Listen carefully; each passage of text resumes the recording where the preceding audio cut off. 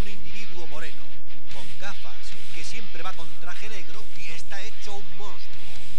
También canta canciones pegadizas, toca la guitarra, sus fans le adoran y siempre está de buen humor.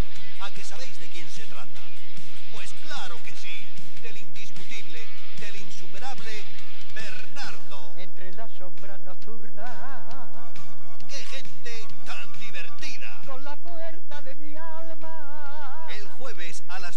Azura's